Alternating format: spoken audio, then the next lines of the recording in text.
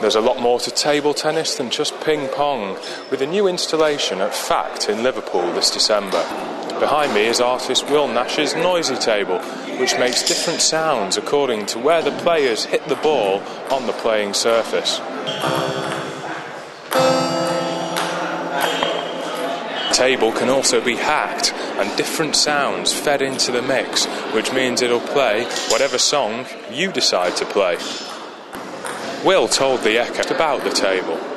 Basically, if you think of it as, a, as two giant drum pads, like a, from an electronic drum kit, but with a little bit more um, uh, technology and slightly more sophisticated sensing, uh, which means that the table basically is a grid um, of keys and wherever the ball hits, uh, you, you, get a sound.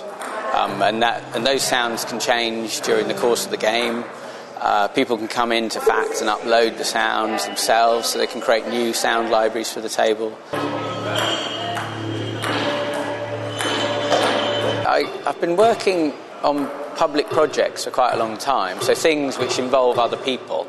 And because I'm a sculptor, usually it ends up where, whereby I, I work with people at, at, the beginning and then uh, sort of there's a result, but it's over. You know, the thing is there and it's finished. And the, the great thing about this is it just keeps going, keeps evolving, keeps growing. You know, the more places I have it and the more people who get involved, the richer it becomes. Well, it's on um, until the end of February, and uh, it, it's the, the, the, last day is going to coincide with FACT's 10th birthday.